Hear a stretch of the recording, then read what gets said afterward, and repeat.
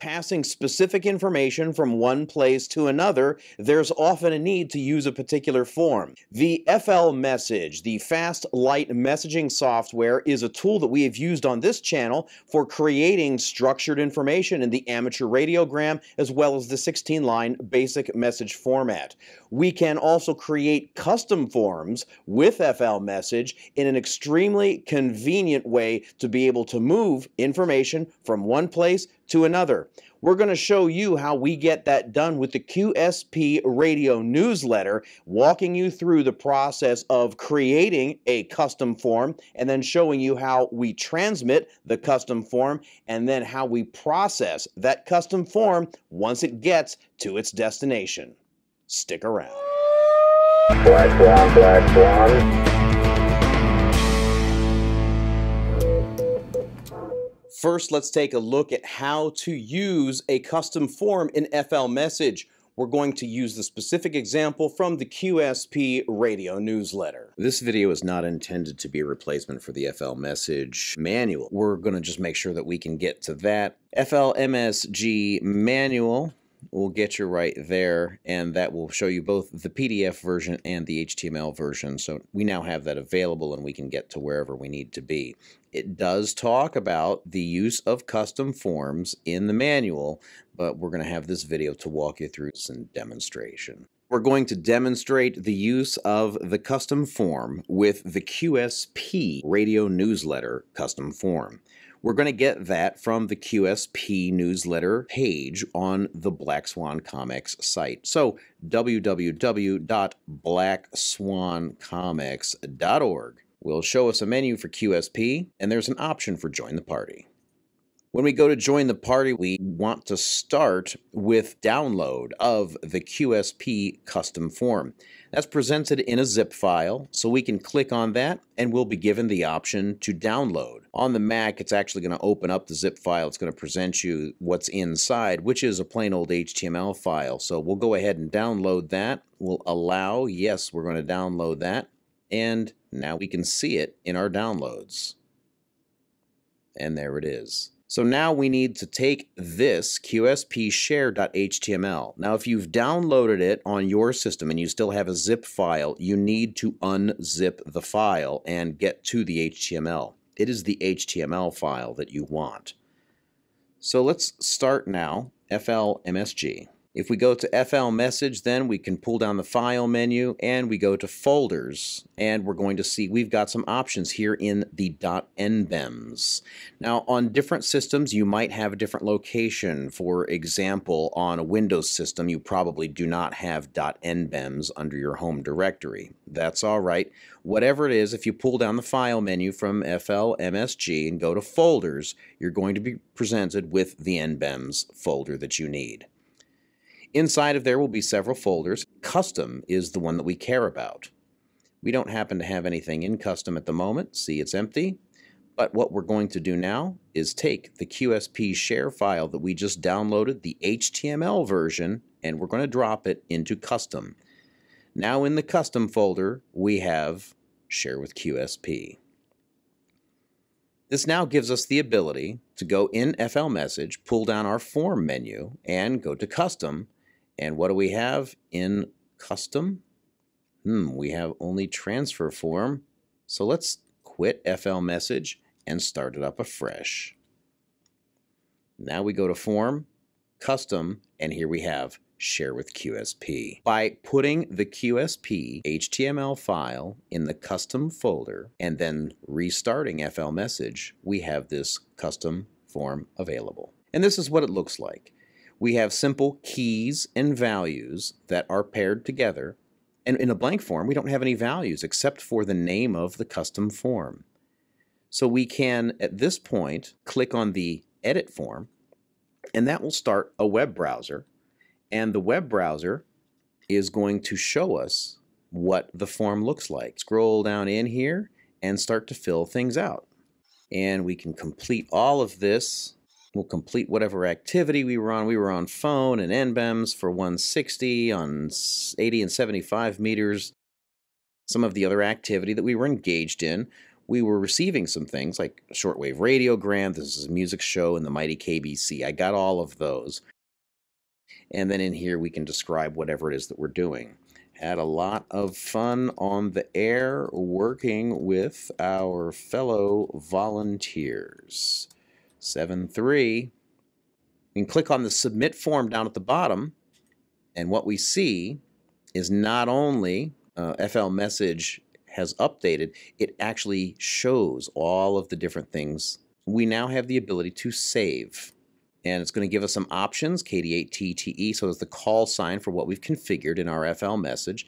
It's going to have a date and timestamp associated with it, and at the end is going to have .k2s. That is the extension that is used by FL message for a custom form. So we can go ahead and save that, and you can see where it is. It's underneath the ICS messages that's underneath our NBEMS folder. We save that. This is a good example of the difference between form and format. A person is going to use the form, someone who doesn't necessarily know anything about radio. All of the information needed for that specific purpose is presented on a form. It's a consistent way to represent everything that a person needs to see using FL message in the custom form, the person has the ability to hit save, and now we have a K2S file. All of the information has been formatted for transmission. It's a simple text file. It's lightweight. It's nothing more than keys and values separated by a comma. That very small and lightweight file can transmit quickly over radio so that on the receiving end, the K2S file can be opened up inside of FL Message and displayed with the same custom form so that a person on the receiving end sees exactly what the person on the sending side created in the first place. Form is for the person, format is how we structure information or data that can be used for storage or transmission. Now that you have completed the custom form, you need to transmit it. We're going to take that file and show you how you can move it from one place to another, and you have options. That format is independent of the transmission method. We can show now FL message being used to perform the transmission. We can show FL amp being used to perform the transmission, and we can also show ARDOP.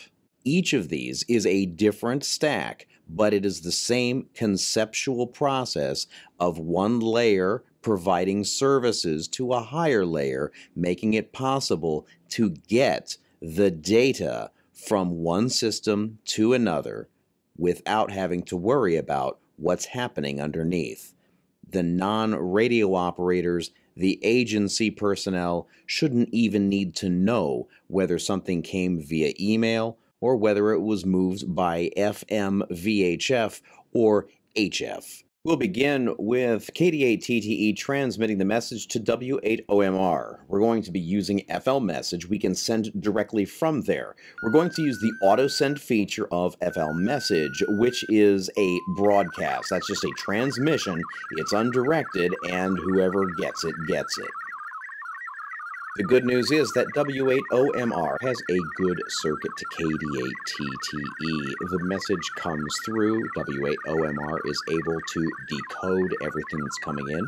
The checksum is performed, it checks out, and then W8OMR is able to display what was received, and it matches exactly what KD8TTE transmitted. The K2S file was sent from one station to another using that circuit as its network. That was FL Message with a broadcast method. There is an option in FL Message for unicast, and that's to use ARQ, the automatic repeat request. In that case, you place the station of the receiver down in the bottom left corner, and then you initiate an ARQ session the sender will call the receiver, the receiver automatically answers the sender, and they begin a process of transmission, and acknowledgement, transmission of the next section or block and acknowledgement. If there is a bad reception, the checksum at the receiving end does not work, then the recipient will request retransmission of the same block until that block has a good checksum. And you can see that FL Digi is transmitting the contents of the K2S file wrapped in the ARQ protocol. The advantage of ARQ over broadcast is that if a checksum mismatches for a block, only that block needs to be retransmitted.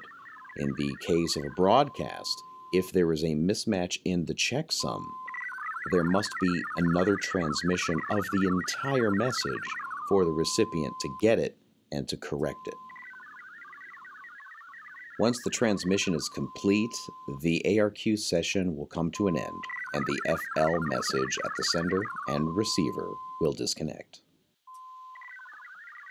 At the end, the entire message has been received and it matches exactly what the sender sent. The third of four options that we will demonstrate today is FL AMP. That is to use the multicast protocol to move the message from one station to another. Multicast is kind of a combination of broadcast and the ARQ of unicast, except that it's not automatic the message, like ARQ, is broken into blocks, but the acknowledgement of those blocks does not take place until the end of the entire transmission.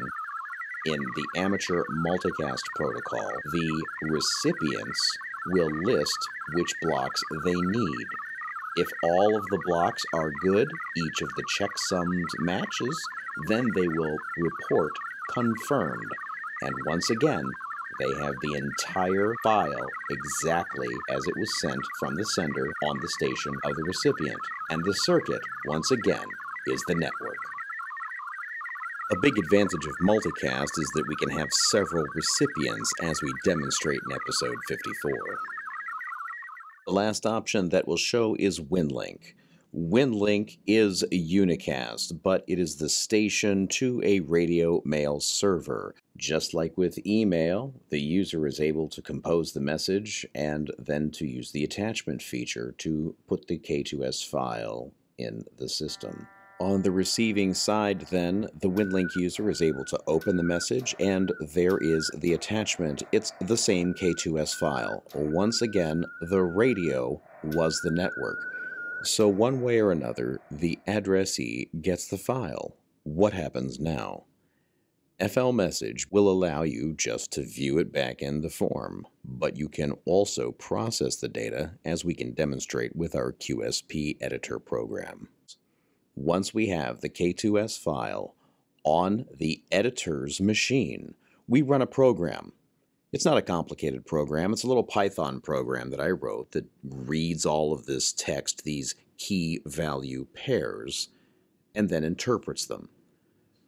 It interprets all of the data and then formats all of the information that's been presented in that QSP form such that I can take that, I can highlight now the formatted for presentation in QSP information and I can paste it into my working copy of the QSP radio newsletter.